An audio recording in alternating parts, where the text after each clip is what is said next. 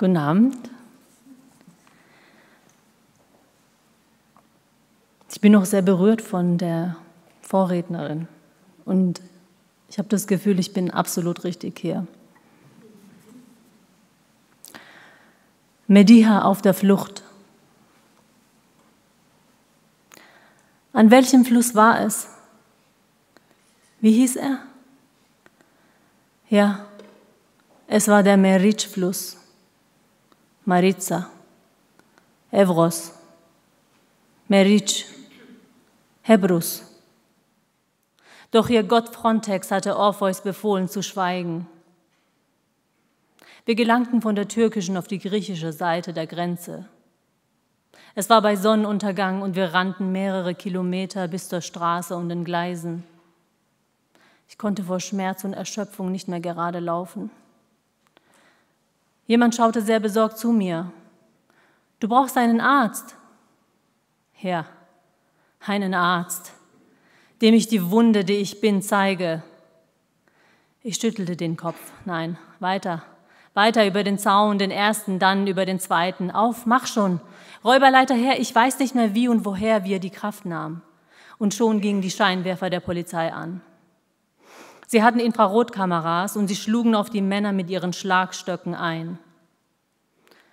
Ich weiß immer noch nicht, warum man uns das an den Grenzen schlägt, unsere Boote auf dem Meer ertrinken lässt, uns wieder in das vorige Land, das wir mit unseren letzten Kräften passiert haben, zurückdrängt.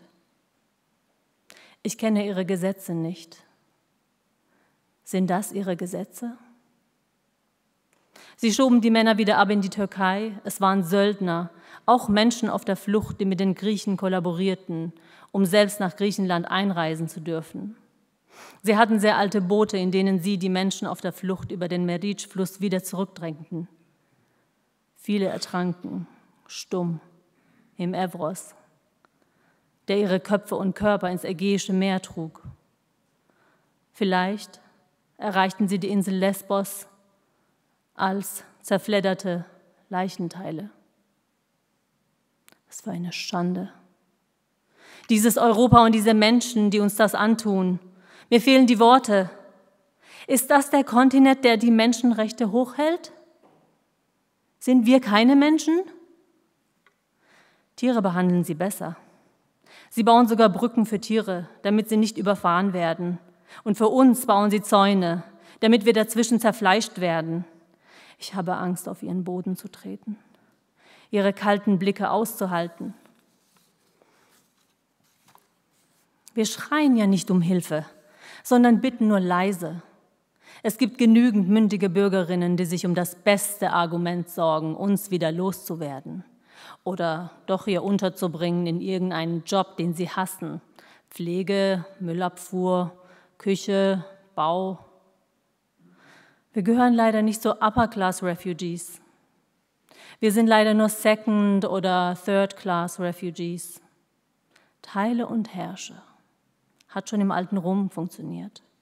Nicht, dass wir uns noch untereinander solidarisieren, gegenseitig helfen, unterstützen, Kraft oder Tipps geben, wie man dieser Hölle namens Bürokratie entkommen kann.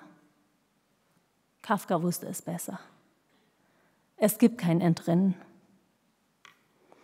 Ich hätte auch gerne gleich eine Arbeitserlaubnis und einen Aufenthaltsstatus bekommen. Aber das gibt es nun mal nicht für drittklassige Menschen wie mich. Ich habe ein Tuch zu viel auf dem Kopf, Augen, die zu dunkel sind, um durch sie hindurchzuschauen, eine Sprache, die sie nicht lernen wollen.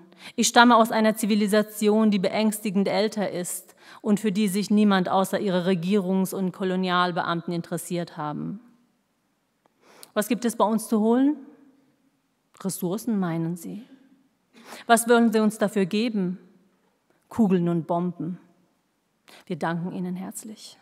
In aller Ewigkeit sind wir Ihnen zu Dank verpflichtet für die Zerstörung unserer Häuser, die Ausbeutung unserer Ressourcen, das Klimadesaster, die Vergiftung unserer Umwelt. Wir danken euch für all die Minen, auf denen unsere Männer und Kinder in Stücke gerissen wurden. Wir danken euch für die Ausweitung des Heroinanbaus unter der Rigide eurer Geheimdienste und der unseren. Danke auch für die Horden an UN-MitarbeiterInnen, die für 10.000 Dollar im Monat ein paar Stunden durch die Straßen fuhren und es einen Fieldtrip nannten. Sie konnten sich nach vier bis fünf Jahren steuerfreies Leben in unserem Staat sicherlich eine Luxusvilla an der Côte d'Azur kaufen. Und das war auch das Ziel einiger. Ein Haus hier, ein Haus dort. Und unsere zerstörten Häuser besuchten sie dann, machten Fotos, sprachen mit den Betroffenen und kamen nie wieder. Das nannten sie, das nannten sie Beweise sammeln für eine Intervention bei den Streitkräften. Als ob die sich für diese Interventionen, die immer im Geheimen abliefen, interessierten. Schwierig wurde es nur, wenn etwas an die Öffentlichkeit gelegt wurde.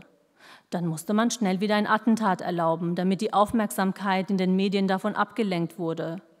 Wir kannten ihr Spiel zu gut und sie dachten, wir seien dumm, Analphabeten. Sie kamen mit der Parole, wir bringen euch Demokratie. Ach ja, wirklich? Während sie alle Warlords und Talibs in das Parlament reinließen. Danke. Danke, dass Kriegsverbrecher weiter an der Macht bleiben konnten. Das habt ihr ja auch ganz gut geschafft nach dem Zweiten Weltkrieg. Die Henker wieder in die Schulen, Ämter, Gerichte zu schicken. Die sollen mal jetzt arbeiten und ihr zerstörtes Land aufbauen. Ja, das hat sehr gut funktioniert. Aber einen Marshallplan gab es für uns nicht. Wie werden Sie uns rahmen? Wie darstellen auf Ihren Fotos und in Ihren Medien? Welchen Titel und welchen Untertitel wird man uns geben? Und vor allem, wer zu welchem Zweck? Sie werden es so darstellen, als sei das die Wirklichkeit und nicht verstehen, dass es nur ein Ausschnitt ein fremd gewählter Ausschnitt sein wird. Doch diese Bilder ohne Text sind bedeutungslos. Es werden daraus nur Narrative entstehen, keine Abbilder der Wirklichkeit. Sind wir minderwertiger, lebensuntauglicher, zu fremd, zu andersgläubig, zu anders aussehend, zu viel Tuch um den Kopf, nicht schick genug, nicht blond genug, nicht hell genug, nicht grünäugig genug? Woher kommen diese Kategorien? Denen helfen, denen nicht. Die bekommen Rechte, ihr den Schlagstock ins Gesicht. Ist das Gerechtigkeit? Ist das Recht? Ihr Recht? Geschieht es uns recht? Bin ich ein Sklave, dass man mir das antut? Vielleicht denken Sie, wir sind Ihre Sklaven und Sie unsere Herren. Menschenrechte. Ist das Ihr Gott, der so willkürlich die Rechte verteilt? Haben Sie überhaupt Götter, die Sie verwurzeln mit diesem Boden? Sind wir Neophyten, die Sie ausrotten wollen, da Sie die einheimische Art verdrängen?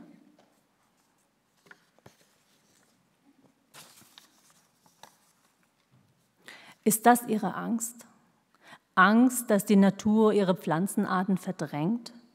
Nicht einheimische Menschen würden ihre mit diesem Boden verwurzelte Menschen verdrängen? Wie erbärmlich. Jeder Vogel weiß, dass Grenzen ein Hirngespinst des Menschen sind. Sie haben Angst vor dem Terrorismus, terrorisieren, ermorden uns aber an ihren Grenzen.